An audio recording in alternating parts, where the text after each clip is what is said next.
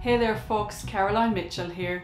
I'm an ex-police detective and crime thriller author and today I'm bringing you the unsolved case of Thomas Brown. This case is super fishy. In fact, it really got under my skin. Stick around and I'll tell you why. Okay, it's November 2016 and we're going to a place called Canadian in Texas. It's a pretty place surrounded by miles of prairie land and called Canadian after the river that runs north of the town. It's a panhandle community, which is a name given for a part of a land which is narrow and sticks out from a larger area, like the handle of a pan. Canadian is a small, prosperous city with about 3,000 inhabitants. It's a place where everyone knows their neighbours and their business, and it's sometimes said to be a little bit cliquey. Thomas Brown lived here with his mother Penny, who was a local elementary school teacher. His stepfather Chris worked for an oil field supply company and his brother Tucker was staying over for Thanksgiving at the time. Thomas was 18, 6 feet 1 and weighed about 180 pounds. He attended Canadian high school and was said to have been a really nice lad. I mean, hugely popular with his fellow students and team players on his football team. He was a class president and excelled in drama and football, and he had a great quirky sense of humour and gave his time freely to anyone who needed it. His friend Caleb would later say that he couldn't think of a single person who didn't like him. On Wednesday, November the 23rd in 2016, at around 6 o'clock in the evening, Thomas told his mum that he was going to meet up with his friends, as he'd recently broken up with his girlfriend Sage. And although the breakup had been amicable, they stayed friends, and Penny was happy for Thomas to go out and enjoy himself. So she gave him her credit card so he could put some fuel in his red Dodge Durango. There was nothing out of ordinary about that evening, and Thomas seemed happy enough. He drove to the Canadian Middle School parking lot, which is where he met high school friends Caleb King and Michael Castletime. Caleb and Michael rode in Thomas's truck as Thomas drove around in a series of streets that his friends called Tom's Loop. Michael later said that it was a typical night and nothing seemed out of the ordinary. The boys chatted, listened to music, and stopped off at Alexander's for a quick dinner. At 8pm they returned to the middle school parking lot to meet Christian Webb and Michael said goodnight and went home in his car. Tom and Caleb got into Christian's silver Dodge Charger and Christian was home for Thanksgiving weekend so it was the first time she'd seen Thomas in a while. She later said that he seemed really happy that night and at one point they visited the Canadian Wagon Bridge and went for a walk. So at 11 o'clock that night the group got into their own cars and drove home and at 28 minutes past 11, Thomas was seen on CCTV pulling up at Frank Oil in Canadian. Bank records would confirm that he swiped his mum's card there at 28 minutes past 11. And there was just fuel pumps there. There wasn't any attendance, there was no shops, there was no one around. Thomas's mother Penny began to get worried when Thomas didn't come home. According to his mum, Thomas never missed a curfew. In fact, he was usually home well before curfew so he could go online and play some games with his friends. She texted him a couple of times, but they weren't read.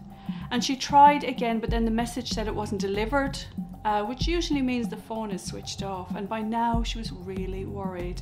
Any parents watching knows about this horrible feeling in the pit of your stomach when you can't get in touch with your child. And when I say child, they could be between 8 or 18 years of age, it doesn't matter what age they are.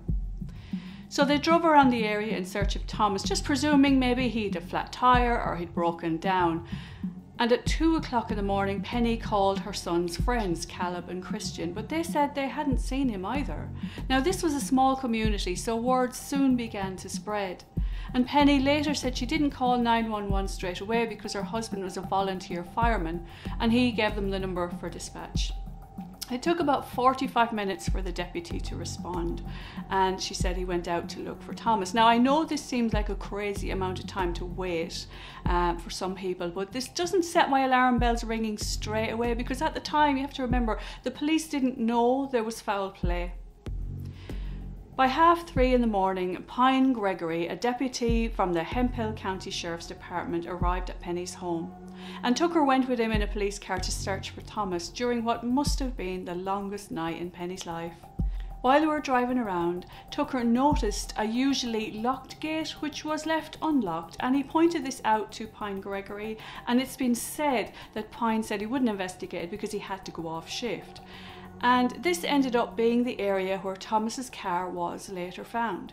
Now, this hasn't been 100% verified, but I will say that when I was a cop, wild horses wouldn't have stopped me from checking that gate.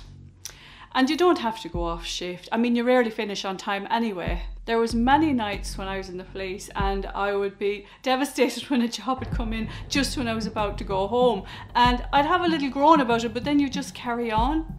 Because as a cop, if you don't have that built in sense of curiosity and duty to check out an important lead, then you're in the wrong job. And it pains me to complain about a fellow officer. Anyone who watches this channel knows that I am hugely loyal to anyone serving in the emergency services because I know what a tough job it can be. But from the very beginning, while I was looking into this case, I sensed that there was something up. So the community searched for Thomas, driving horseback, uh, riding across the prairie, going on foot and by truck. And at 8:40 a.m., Thomas's friend Christian persuaded her dad to go up in their family helicopter to search for her friend.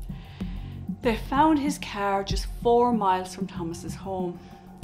Christian said it was a strange place to find the truck though, because she didn't even know that dirt road was there, and she said she was pretty sure Thomas didn't know about it either, because they never drove up to that point. And Thomas's mum also said that it was never somewhere her son would have gone.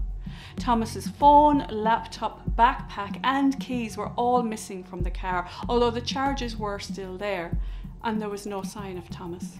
The last location of Thomas's phone was later pinged to Wildcat Stadium in Canadian at 12:13 p.m.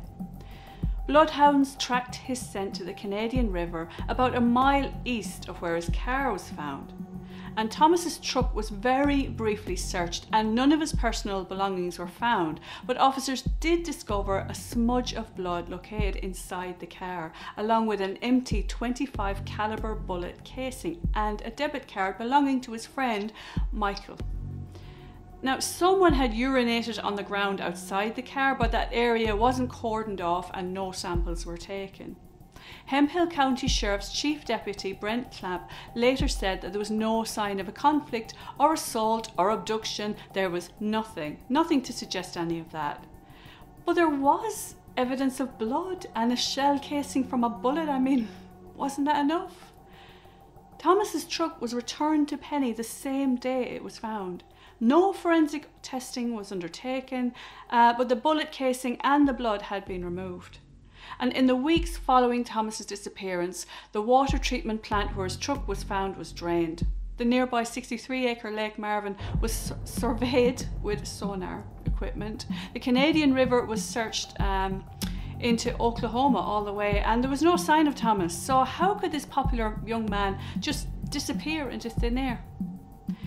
Well, Penny said that Sheriff Nathan Lewis asked for Thomas's phone passcode, even though his phone hadn't been recovered. Now, Penny and Sheriff Lewis had history because in 2015, Penny made a complaint against him about an incident that occurred in June that year.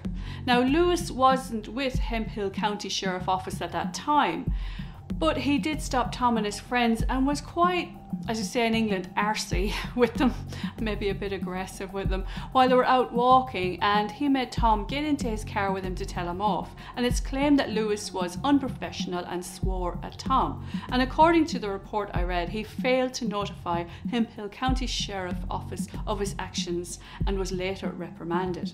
Between half one in the morning until 6 a.m. Uh, the day following Thomas's disappearance, a truck matching the description of his truck was seen on CCTV driving around various locations in Canadian.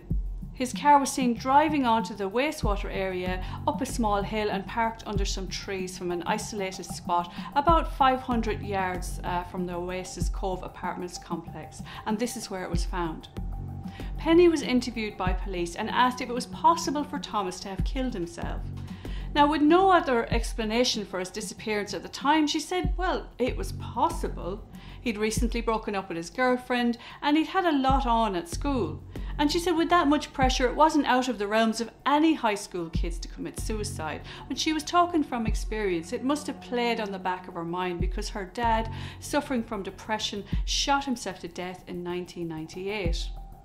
But while she said it was possible, she also said she didn't believe that was the case. So, what about his ex girlfriend? Was it connected to their breakup? An online Facebook community called Moms for Tom was created to raise awareness of Tom's case. Two months after he disappeared, a North Plains electrical worker spotted a backpack and it was next to a barbed wire fence on Lake Marvin Road. Now, this was about four miles from where um, search dogs lost trace of Thomas's scent during their early searches in November. Thomas's brother Tucker believed it was put there afterwards, as that area had been searched for days with no trace. Sheriff Lewis said it had been there a while. It had an indentation in the ground where the backpack was sitting, he said. It was wet inside and out. Pages were almost mouldy at that point, and we didn't find his cell phone. Thomas's school issued laptop uh, computer was still inside but hadn't been used. And because of the bag's condition, it didn't provide any clues. And a set of footprints were found nearby.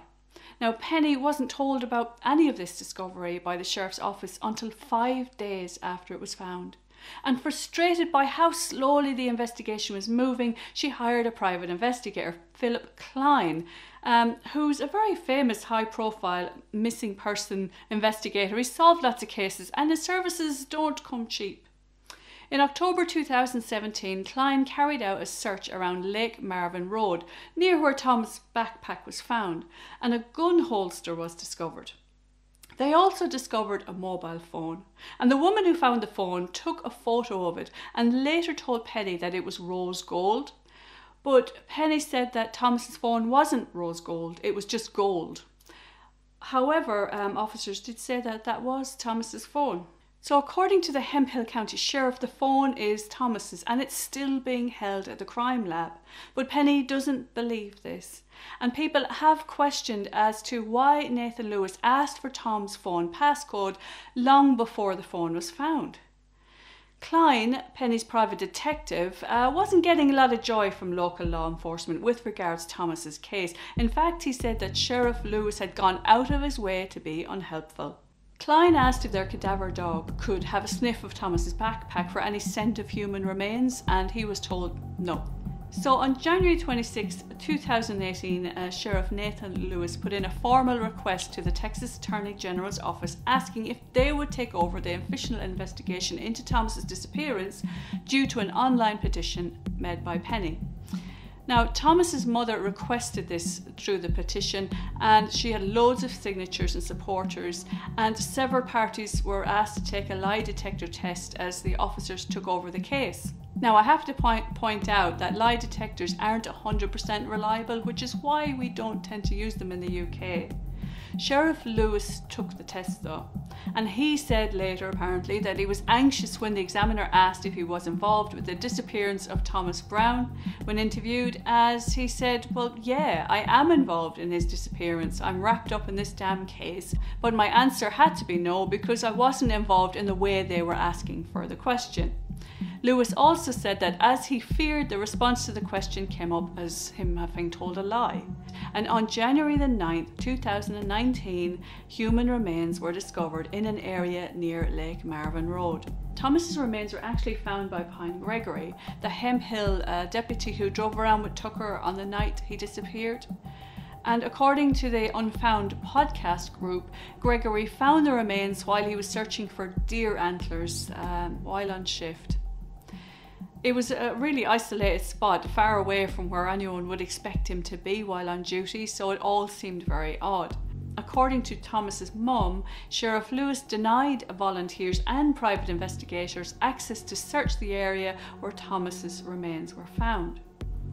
Following forensic and dental records testing on January the 16th, the remains were identified as belonging to Thomas. Now, I need to talk about the narrative that was being pushed by certain officers from the beginning of this case. First, the officer suggested to the family that Thomas had taken his own life. Then they said he'd run away and later tried to make out that he was gay and perhaps he'd run away with an older man. But they didn't seem to take into consideration the blood and the gun casing being found in the car, let alone the amount of blood later revealed by private investigators through luminol testing. Also, the recovery of Thomas's car and personal items just didn't make any sense where things were and the timings and him having meant to have killed himself. Nothing made any sense. 10 days after Thomas went missing, it said that Penny was shown a photo of her son Thomas of him getting fuel on the night he disappeared. And she was asked to confirm if it was him, and she said yes, it was. And she stated later that she always thought the photo was looked like it was taken by a person. It was so close up, you know, not like dash cam or CCTV. But when asked about it later on, Sheriff Lewis completely denied that this photo ever existed. Do you remember the debit card belonging to Michael, Thomas's friend, which was found in Thomas's truck? Well, things took a twist on January the 21st, 2019, just days after uh, Thomas's remains were discovered. Jeff, Michael's father, committed suicide by shooting himself. Jeff's suicide was reported to the media by the sheriff's office before the medical examiner released their findings. Now, this caused all sorts of hullabaloo in the community, as a lot of people wondered if his sudden death was related to Thomas's disappearance and death. A suicide note was found, and although its contents haven't been revealed, I did read online though that Jeff had suffered from severe depression all of his life and that he had been unwell. Now, take that with a pinch of salt. All of this I have read online, I can't 100% verify it. So to me though, while the timing seems odd, there's no firm evidence to say that it was related to Thomas's death. And to be fair, you know, I've lost debit cards which have slipped out of my pocket into the foothold of my car in the past. So again, it's not beyond the realms of imagination that Michael could have just could have just lost his card after they'd been out that night. Anyway, it's alleged that Pine Gregory, the officer who found Thomas's remains, was fired from the Hemphill County Sheriff's Office in May 2019.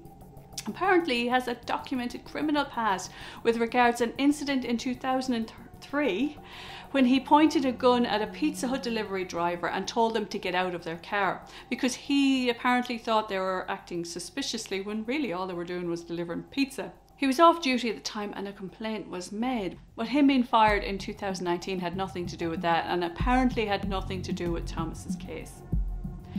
Despite all of this, though, investigators accused Thomas's mum, Penny, of hiding her son's body because she was ashamed that he'd committed suicide.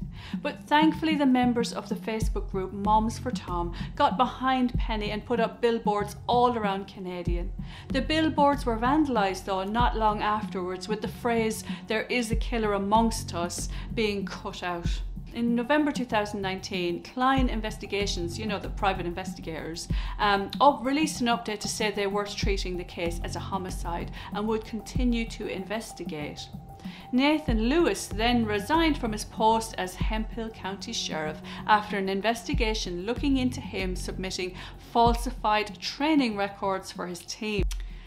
So here's my take on things.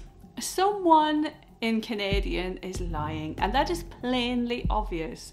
This has been investigated by many different departments, and uh, to be honest, I don't think it's feasible that every single officer involved is covering this up. It just can't be done. But it's not beyond the realms of comprehension that someone close to the investigation had been lying from the outset. But I don't believe for a second that Thomas's family are involved in this. As a mom, I think the question of Penny covering up her son's alleged suicide because she was embarrassed is just nothing short of ridiculous. The fact that she had to hire a very expensive private investigator to find the evidence which was passed over just makes me angry.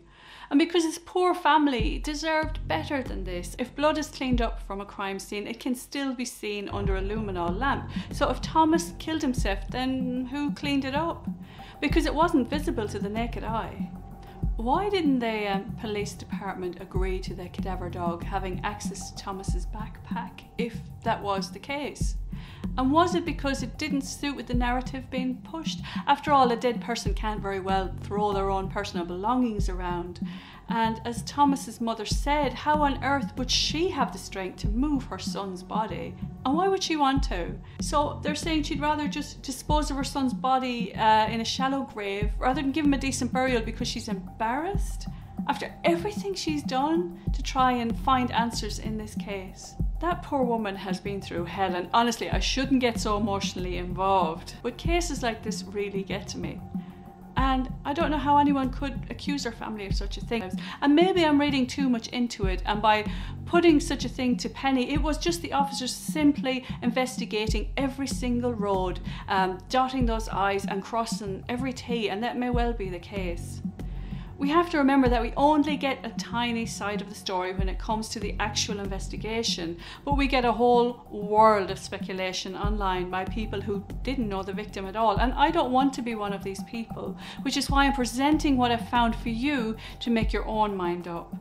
And I do hope that we find answers and Penny and her family can put Thomas to rest. And I just want to remind you folks of my disclaimer which is in the box below. Uh, I only have access to information that I find online. I don't have access to police reports or anything like this. And I am just surmising this is just an opinion and you know nobody has been charged with any murders or any offences with regards Thomas's uh, disappearance and subsequent death. Have you heard of this case? Because I'd love to hear your thoughts. And it was a challenge trying to sort through all the information online. And if I have said something inaccurate, please let me know in the comments below. If you're interested in unsolved mysteries, I do recommend you check out my recent video of some teenagers who stumbled upon a body in a suitcase while playing an app. But thanks a million for tuning in, guys. And remember, incidents like these are extremely rare, so don't lose sleep. Until next time, 拜。